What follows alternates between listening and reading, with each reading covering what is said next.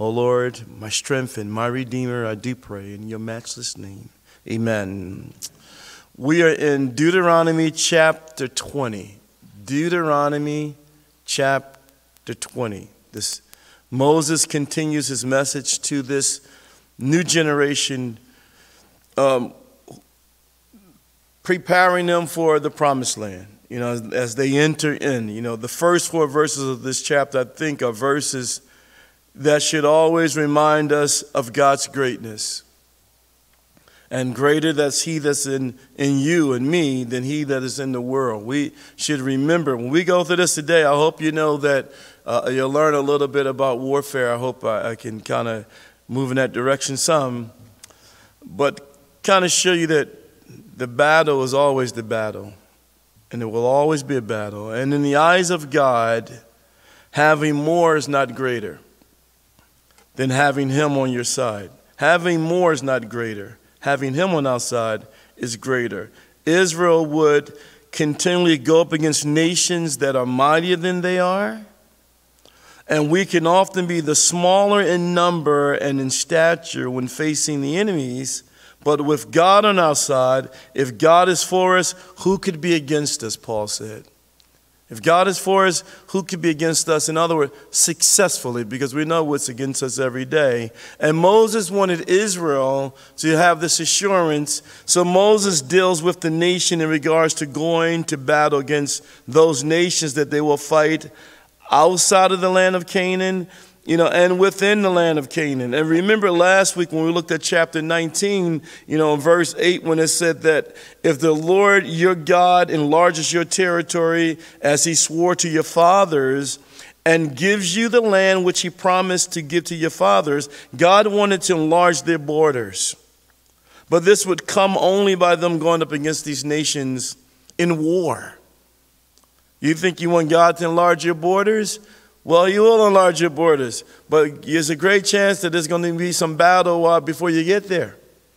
You know, people used to pray the prayer of Jabez, Lord, enlarge my borders. And all, you really? You better know what you're asking for when you say that. You know, the word battle is mentioned 185 times in the Bible, 179 times in the Old Testament, six times in the New Testament. The word war is mentioned 418 times in the Bible, 357 times in the Old Testament, 61 times in the New Testament. The words enemy and enemies combined is mentioned 433 times in the Bible, 388 times in the Old Testament, 45 times in the New Testament. So the Bible is clear that there will be battles and wars in our lives because we have an enemy. So just be clear about that. And Peter would say, Be sober and be vigilant and be or watchful, some translations, because your adversary, the devil, walks about like a roaring lion seeking whom he may devour. And he did everything he could to stop us from getting stuff started here today, tonight. And it says in verse 1, I love what it says. When you go out to battle, Underline that when in your Bible because it does not say, notice it doesn't say if you go out to battle. It's just when, implying that you will go to war. And we know in the book of Isaiah, everybody know that book, you know, when the enemy comes in like a flood, the Spirit of the Lord will lift up a standard against him. We all know that. And, and people forget that part about the Bible it says, when the enemy comes in like a flood. It never says if the enemy comes in like a flood. It says when. It's inevitable that the enemy will attack some way, somehow, somewhere in our lives, some part of our lives. And here is on the offense. When you go out to battle against your enemies, isn't that clear? And see horses and chariots and people more numerous than you, do not be afraid of them. And this is why for the Lord your God is with you, who brought you up from the land of Egypt. Isn't this something? Isn't this kind of interesting how when we didn't know Christ, some of us would go anywhere? We would be in some of the darkest places. We would go anywhere, wasn't afraid of anything. We could save, then people would say, Oh, no, no, I'm scared to do this now. I mean, I'm like, What? We the same people would be in places, dark motorcycle clubs and everything else. And it's interesting to, to note that he says, when you see horses and chariots and people more numerous than you, because some trust in chariots and some trust in horses, but we will remember the name of the Lord our God. We don't need to trust in those things. He said, Do not be afraid. Moses says, Don't be afraid. He used the Hebrew word yare, which means to frighten or to make dreadful. You know, God is saying, Do not be afraid of them, the enemy, for the Lord your God is with you. And he brought you out of Egypt. Don't you remember that he, you know, look, if he defeated Pharaoh, who had the greatest army in the whole entire world at that particular time, what would he do to these other nations? Pharaoh's army drowned in the Red Sea. You remember that old song? I don't know how they got from Pharaoh armies drowned in the Red Sea to Oh Mary, don't you weep. You remember that song? And the two had nothing to do with each other. But I like the part about Pharaoh army got drowned in the Red Sea because that's in the Bible. They're so many things we could look at, but these are some very encouraging words. And the number one reason why Israel shouldn't have feared anyone is because I love this phrase, for the Lord your God is with you.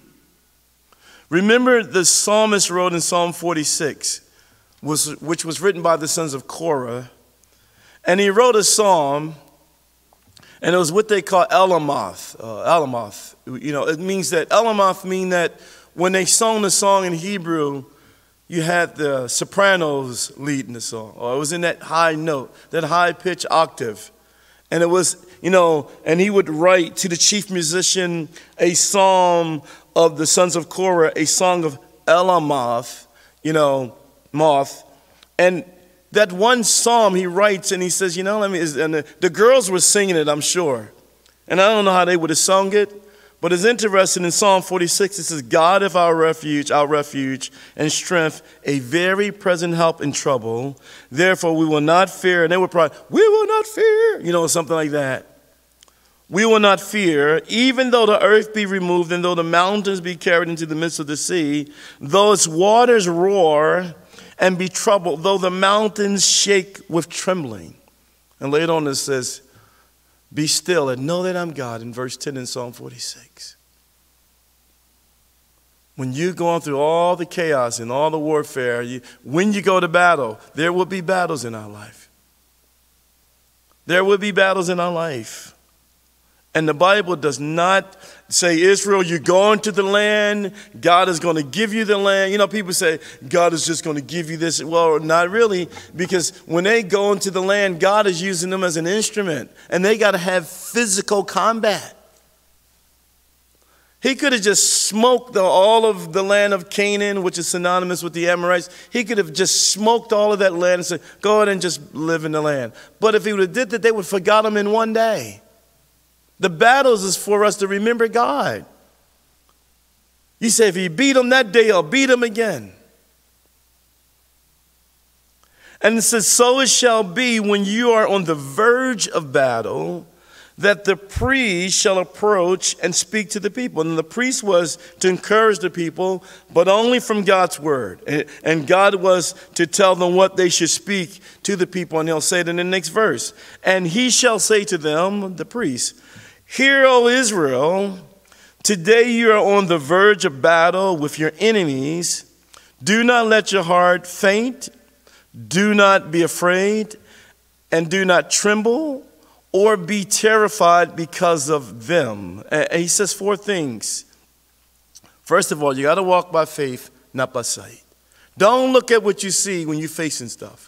Don't look at, don't look, I'm telling you, don't look at when you, the doctor say you got this or this is going to happen. And then you, don't, you, without faith, it's impossible to please God. And he's that, he that comes in must believe that he is and that he's a rewarder of, of those who diligently seek him. Don't never look at circumstance. Don't ever do it.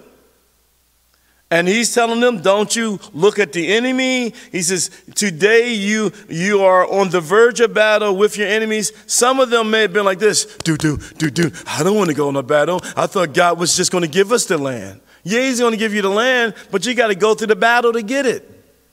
We like blessings without fight. Just give me the blessings, Lord. Help me out. Make me fat. You know, bless me. Lord said, Really? I'll, I'll throw a blessing in there.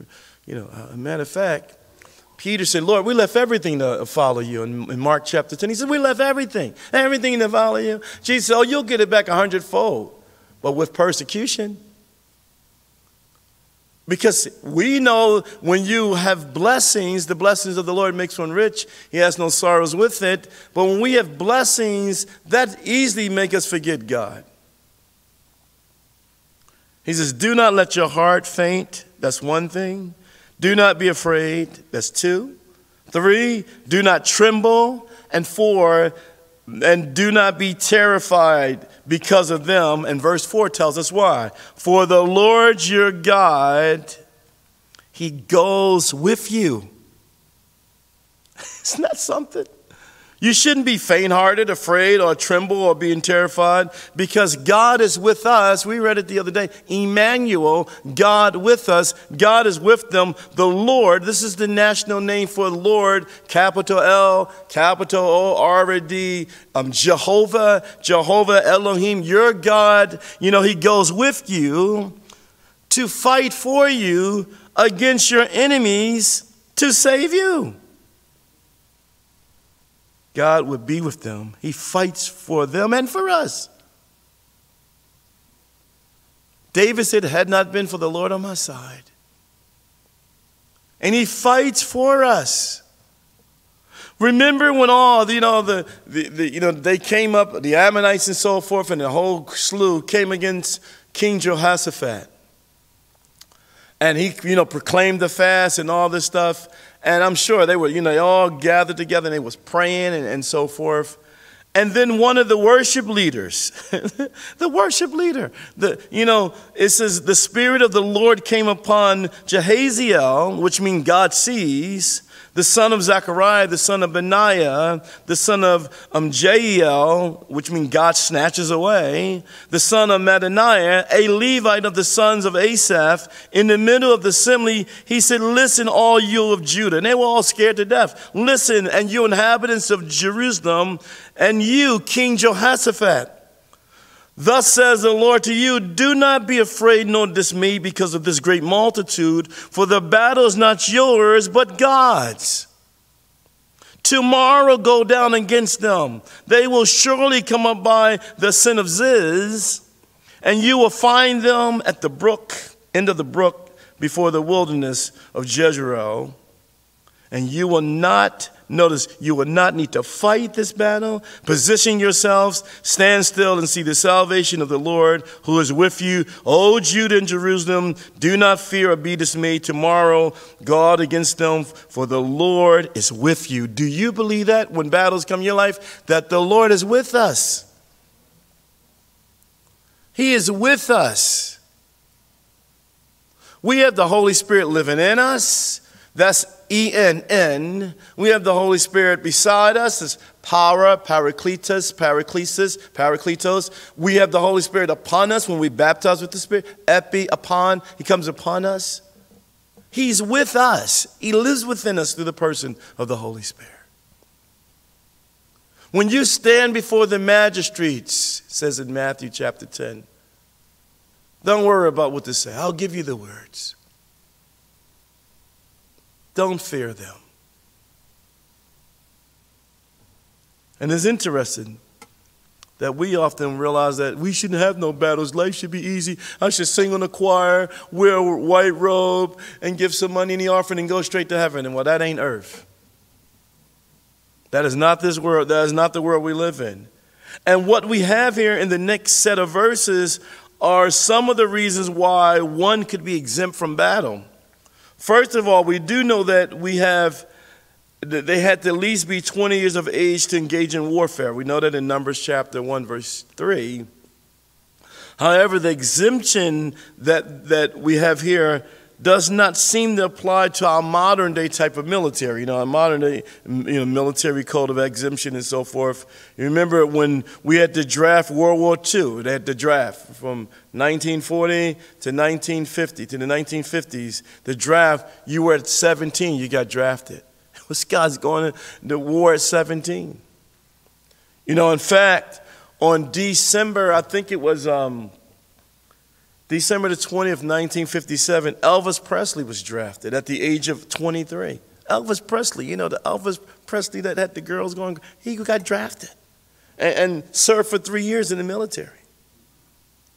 He was stationed right in, near um, Fort Hood, where my sister used to live at, right, right near um, Killeen, Texas.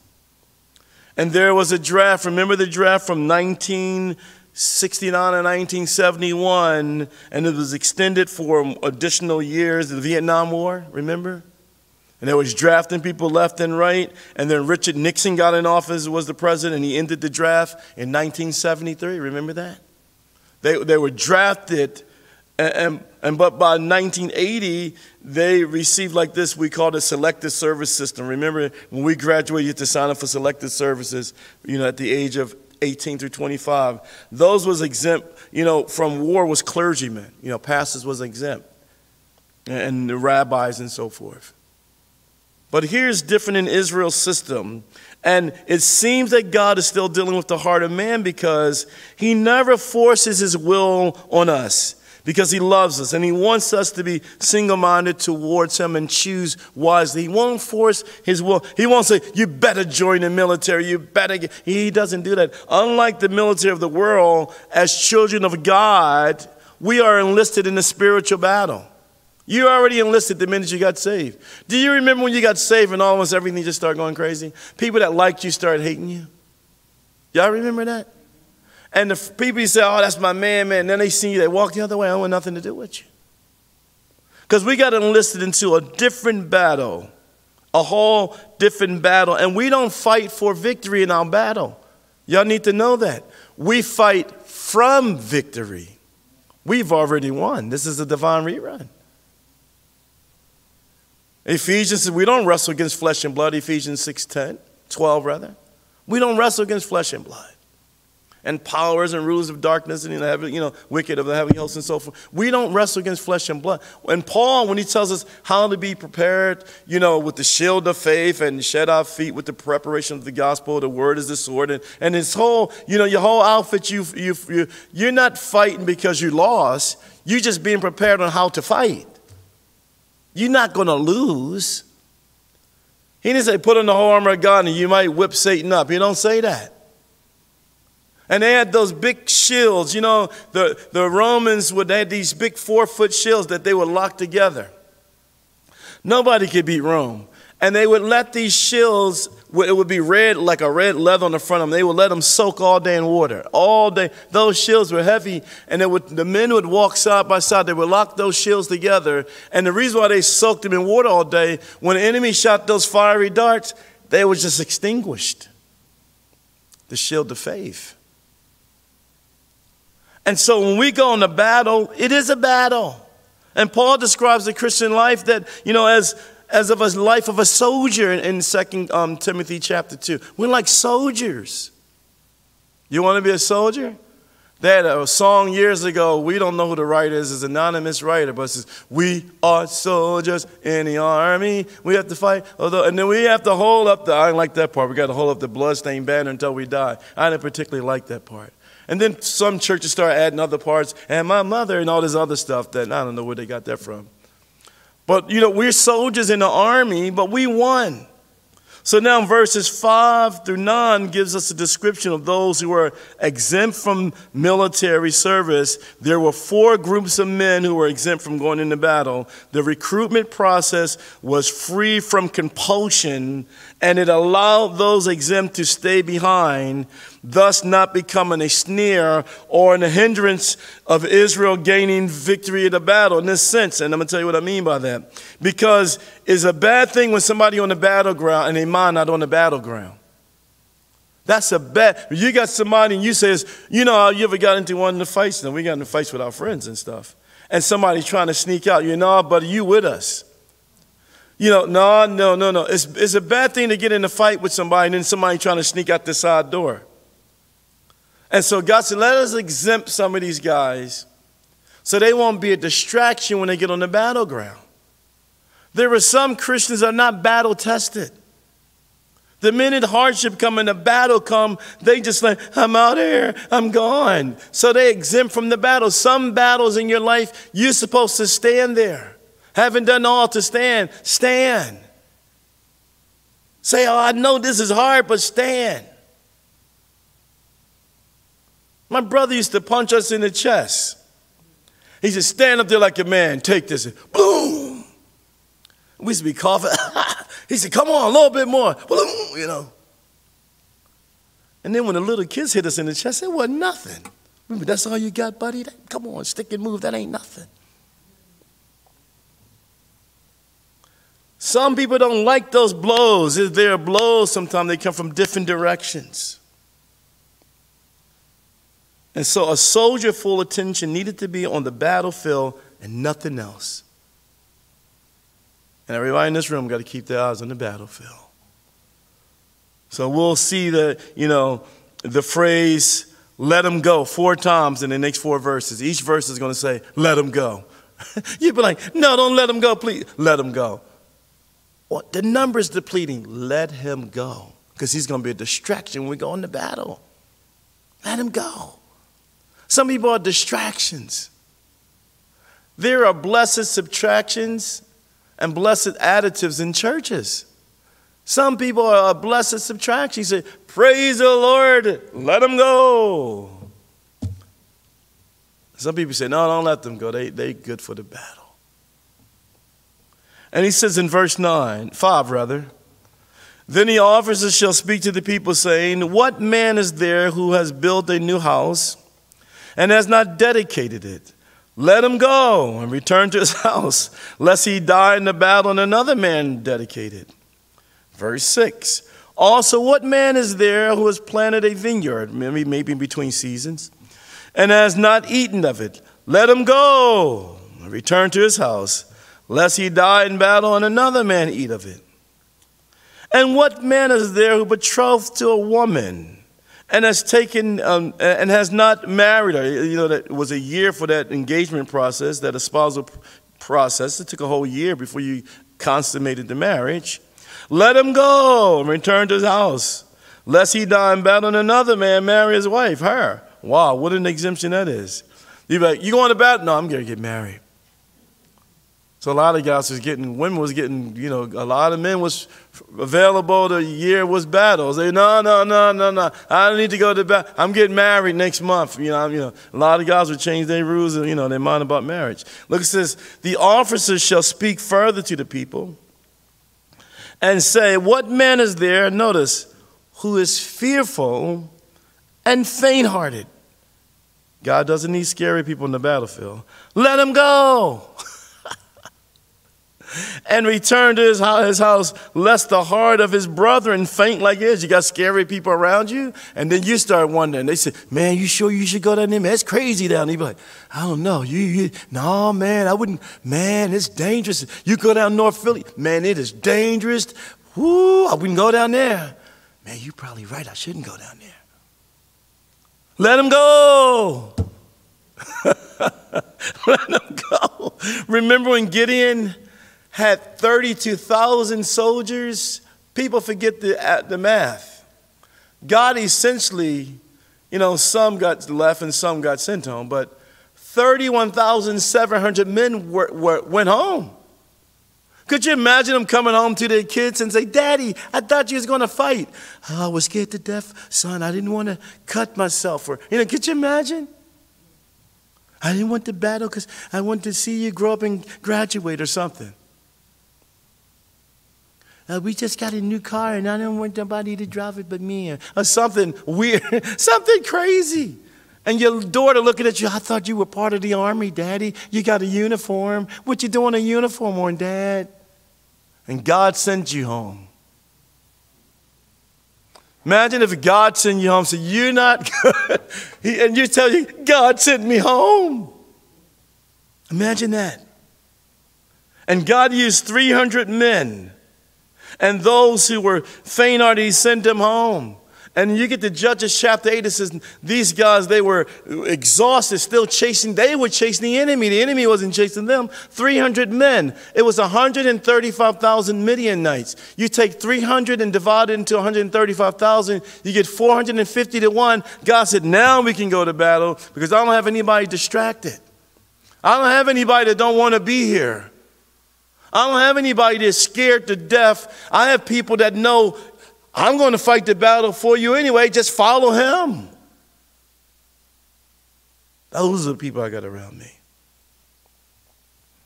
And verse 9 says, And so it shall be when the officers have finished speaking to the people that they shall make captains of the armies to lead the people, to lead the people, that they're going to go into battle with those who are exempt and with those who are non exempt. We are going to battle because God said we are going to battle.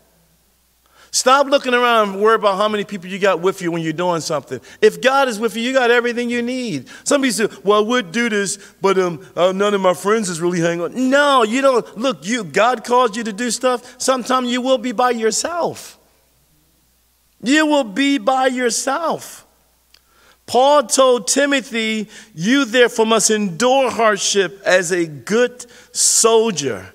Stratiotis is the Greek word. He says, as a good warrior of Jesus Christ. And he says, No one engaged in warfare entangles himself with the affairs of this life, that he may please him who enlisted him as a soldier. The, the, the word to be selected as a warrior, enlisted to become a soldier. You don't get entangled. You, you once you set for the kingdom, there is supposed to be battles. You don't tell unbelievers, I'm going through such a hard time. I don't know what to do next. Oh, I lost everything. Oh, uh, my, my rent is late and I'm going to lose my car. It's getting repossessed. You don't tell unbelievers. They say, well, what God is you, sir? I don't want that God you serving. You're telling the people on the job, I can't take no more and they ain't looking at you like I thought that was a Christian. What you don't say you go to Calvary Chapel, say you go to the Baptist church around the corner that's closed down or something. Because that's what, not what I'm teaching. I'm teaching you fight, you stay in the battle. You stay in the battle. It's hard, and so what? As it get hard, you learn how to stay in it harder. But don't be a wimpy Christian every five minutes. Something go wrong. Did you see what just happened? Oh, I don't know how we're going to make it. God said He was with me, but He ain't really with me now. No, that ain't the God we serve. He said, I'll never leave you nor forsake you. Lord, I'll be with you even until the end of this earth and the end of this age. I'll be with you. I'll never leave you. My name is God with us. How can I leave you? I said, I'm, that's my name. For my name's sake, I won't leave you. And he's telling them all, you can imagine these young people listening to Moses, and Moses, they looking at Moses like, oh, hey, you're going to battle. Man, Moses, I thought he was just going to give us the land. You know, we just want God to give us something with no problems. I like problems. I do. You know why I like problems? It's one thing I like about problems. That shows you the character of God in problems and hardship. That's why I like problems. My life is just a big problem. I was thinking about that other building up there. I said, Where did I get myself into? I thought about that the other day by myself. I said, oh, What did I get myself into? And the Lord just quietly whispers, Is anything too hard for God? It wasn't your ideal in the first place. And sometimes we don't realize that God will put us in places of things that's way, way bigger than us. And we're like, Lord, I don't know how to, I don't know how I'm gonna do this. And he says, You got it right. You don't know how you're gonna do it, but I know how I'm gonna do it.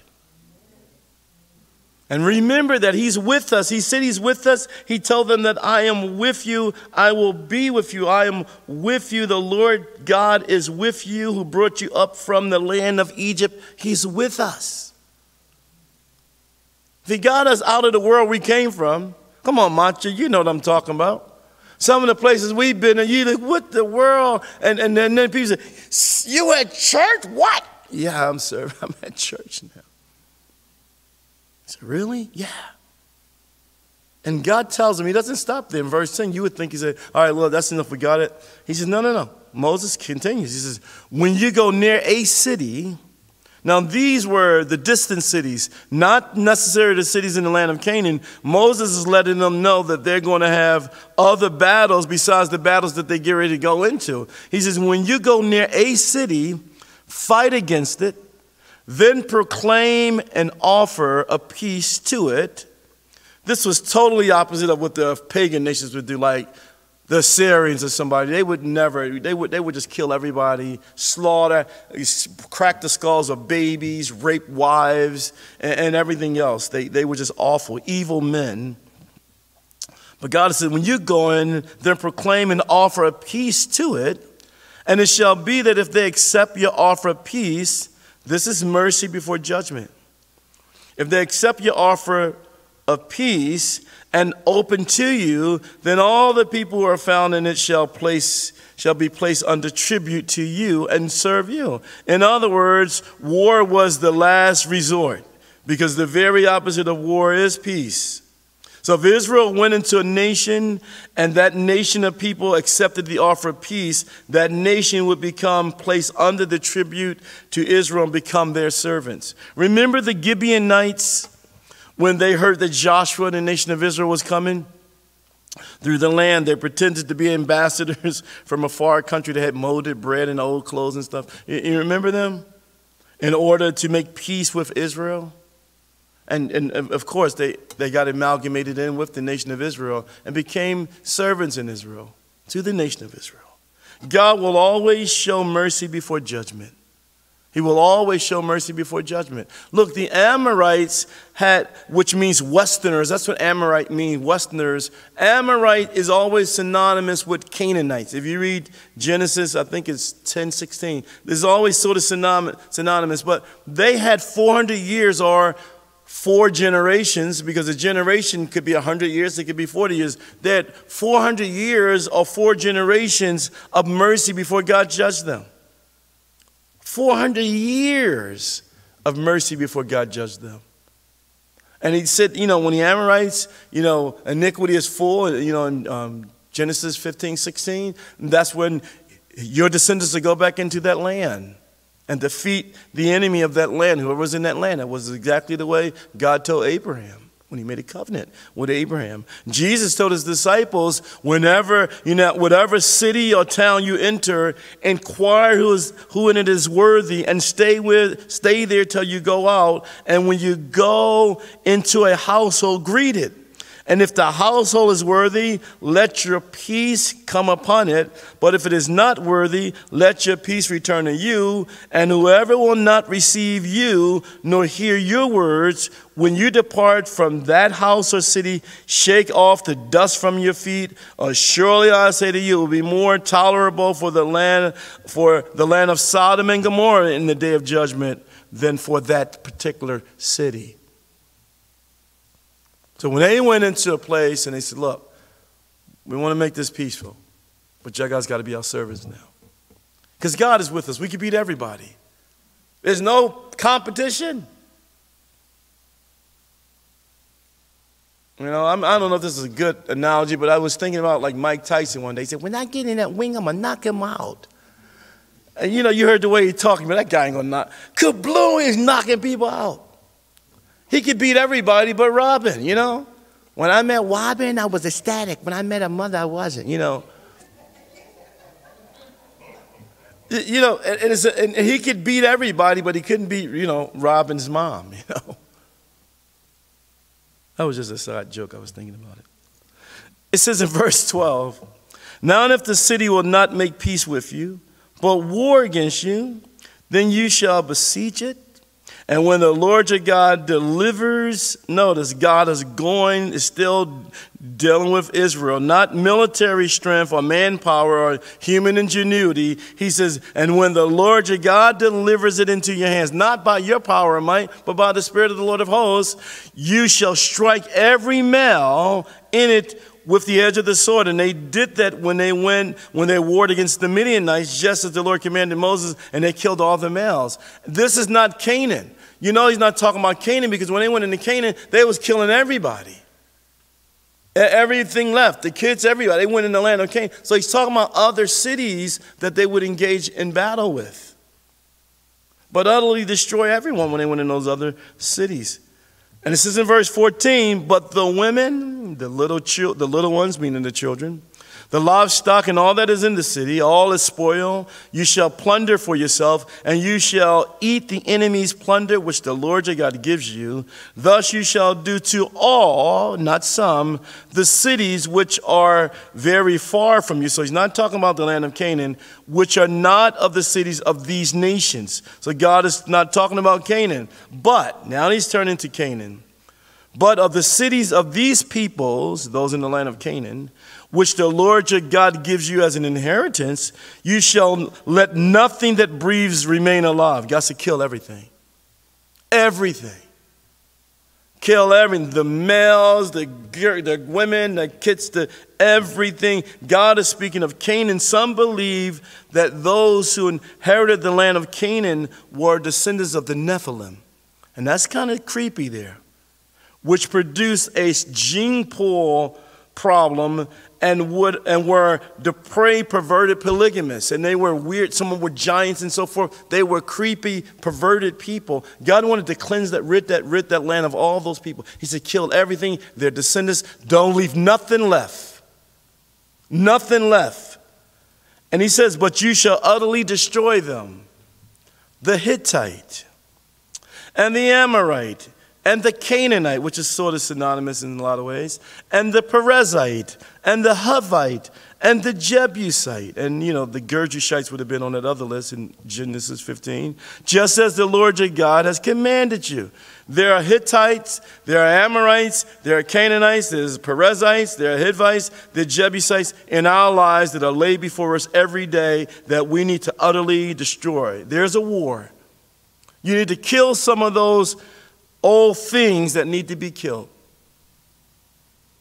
All of it. Because a little leaven can leaven the whole lump. We need to be aggressive. If you struggle with porn, throw your, get a flip phone. That's what you do. Just get a flip phone. And you only need to talk on it. If you struggle with lying, tape your mouth up. Get some that other tape, gorilla tape. I bet you stop lying. If you struggle with stealing, tie your hands up. Whatever little thing you got, whatever Jebusite you got, whatever Amorite you got, whatever Canaanite, whatever thing you got that are part of something false and perverted in your heart, those are the things you don't try to like kill half of, you try to kill all of it. You try to kill all of it. If you had a bunch of roaches in your house, you wouldn't spray half the room. You'd be spraying like You try to get them all. You mean, you know, I'm gonna let I'm gonna let seven or eight of them live. I ain't gonna mess with them. Let a huddle on them. You know, you would kill all of them. And so that's what God wants us to do. And he wanted Israel to do that. He says, utterly destroy them. Don't, don't listen to, don't even look at them. Utterly destroy them. So we should be the aggressors. We should attack those areas of our lives that will later become an ensnarement to us. If you don't get it now, it's going to get you later. That's the whole point. If you don't get rid of the, the Amorites and the, the Hittites and all, you're going to worship their gods and they're going to be, look, you can't have them, you know, you can't give nobody the measles or the mumps unless you have it. You can't get nobody corona unless you had it. And they was going to be whatever those nations were, Israel was going to become if they didn't get rid of them. And some people read this, oh man, the God of the Bible, he was so mean back then. Oh, how could he just kill everybody? Little did they know the wickedness that, because he's sovereign and he knew what those kids wouldn't grow up to be in the first place. I thought he was a God of love. How could he? Re-? Yeah, because he knows everything before everything is known to us. Like Warren Wiersbe said, it's pro video. God sees the video before we even got the tape. And it's interesting that Uh, look at the next verse. This, this truth applied to Israel, and surely it can be applied to our lives as believers in a spiritual sense. Lest they teach you, notice, to do according to all their abominations, which they have done for their gods, and you sin against the Lord your God. God is telling the children of Israel, unless you destroy all the inhabitants of the land in which you're going, they will destroy you both morally and physically. And that, and, and that his wrath would turn against the nation of Israel. And you know what's going to happen in the nation of Israel. They're going to look, they're going to worship these gods. They're going to worship, they are going to worship these gods. Joshua, year of reigning and being a leader, 25 years or so, however long he reigned was the golden years. But when Joshua died, the judges took over. And you know what it was like? A nation like our autonomous nation. Autonomous mean that everybody can do what they want to do. This is what the nation we live in. And this is everybody did what's right in their own eyes. That's autonomy. I can do whatever I want. I have freedom to do this. I have freedom to live this way. I have freedom to think. This. Don't tell me what I can't do. Matter of fact, don't tell me what I can't be. Because I have autonomy. Everybody did what's right in their own eyes. Everybody. When Joshua said, Look, before he dies, look, choose you today on whom you shall serve. He says, As for me and my house, we're going to serve the Lord. In Joshua 24 15, he says, As for me and my house, we will serve the Lord. He didn't say go to the tabernacle. That was part, that was normal. But we're going to serve the Lord. Some people come to the church, but they don't serve the Lord. And he says, That's for me and my house. We're going to serve the Lord because the nation of Israel will turn away. Look, if you've got a Bible, yeah, do this for me because we never did this, but I want you to turn to Psalm 106. I want all of y'all to turn to Psalm 106. So you can see something because I'll come back to verse 19 and 20. But I want you to see this for you so you can see how important it is to get rid of all of those, you know, those Amorites, the Hittites, the Canaanites, the Perizzites, the Hivites, the Jebusites, the Girgashites, and, and the termites, and everything else you got around you. How to get rid of all that stuff. But Psalm 106, verse 34, I love what it says here, and it kind of makes sense. Look what it says. They did not destroy the peoples concerning whom the Lord had commanded them, but they mingled with the Gentiles and learned their works. They served their idols and became a snare to them. They even sacrificed their sons and their daughters to demons, and they shed innocent blood, the blood of their sons and daughters, whom they sacrificed to the idols of Canaan, and the land was polluted with blood. Thus they, they were defiled by their own works and played the harlot by their own deeds. Verse 40 Therefore, the wrath of the Lord was kindled against his people, so that he abhorred his own inheritance, and he gave them into the hand of the Gentiles, and those who hated and, and those who hated them ruled over them. You see what happened when we don't get rid of those things? The enemy start having a foothold in our life. Sin lies at your door. You can have victory over it. So God told Cain.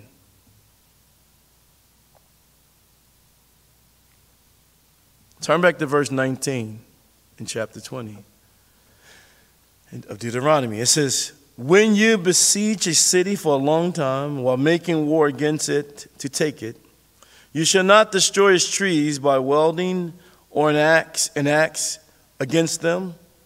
If you can eat of them, do not cut them down to use in the siege, for the tree of the field is man's food. He said, Don't cut those apple trees down or those orange trees. Look, you can eat that stuff. Yeah. So the tree that were good for food, they wasn't supposed to cut down. It could also use for something else later. Only the trees which, trees which you know are not trees for food, you may destroy and cut down to build siege works against the city that makes war with you until it is subdued. This is a great chapter. Because look, the battle is the Lord, but we are in the war zone. And he gives us victory. Now, the psalmist wrote, I love what he says. He says, Oh, sing to the Lord a new song, for he has done marvelous things. His right hand and his holy arm have gained him the victory. And because we belong to him, in Psalm 98, verse 1, because we belong to him, we have the victory. You remember what John said?